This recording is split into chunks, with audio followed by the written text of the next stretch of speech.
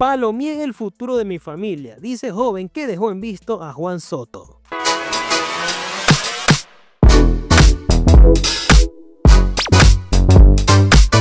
En un giro inesperado de los acontecimientos, la China Taveras, una joven que se hizo viral recientemente, ha revelado su arrepentimiento. En 2018 dejó en visto un mensaje en Instagram del pelotero dominicano Juan Soto, quien entonces estaba iniciando su carrera en las grandes ligas. Hoy, con Soto firmando un contrato récord de 765 millones de dólares con los Mex de Nueva York, Taveras expresó públicamente su pesar al recordar el mensaje que nunca respondió. Yo lo dejé en visto en el 2018 y ni sabía. El futuro de mi familia estaba en mis manos y lo palomié, comentó la joven en sus redes sociales utilizando un lenguaje coloquial para expresar su error.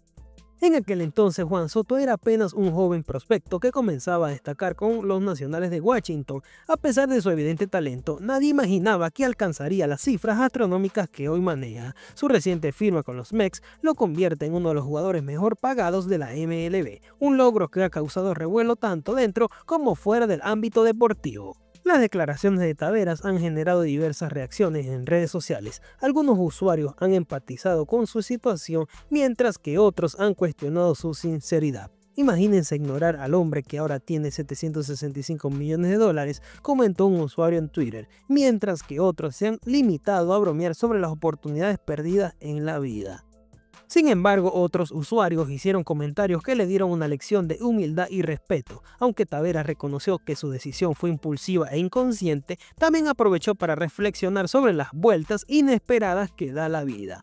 Este caso pone en evidencia el impacto que tienen las redes sociales en nuestras vidas. Un simple mensaje ignorado hace seis años podría haber cambiado radicalmente la trayectoria de Taveras. Sin embargo, la historia también refleja cómo decisiones aparentemente intrascendentes pueden adquirir un peso significativo con el tiempo. Hasta el momento, Juan Soto no se ha pronunciado sobre la confesión de Taveras. El jugador se encuentra enfocado en su nueva etapa con los Mex, preparándose para demostrar que vale cada centavo de su histórico contrato.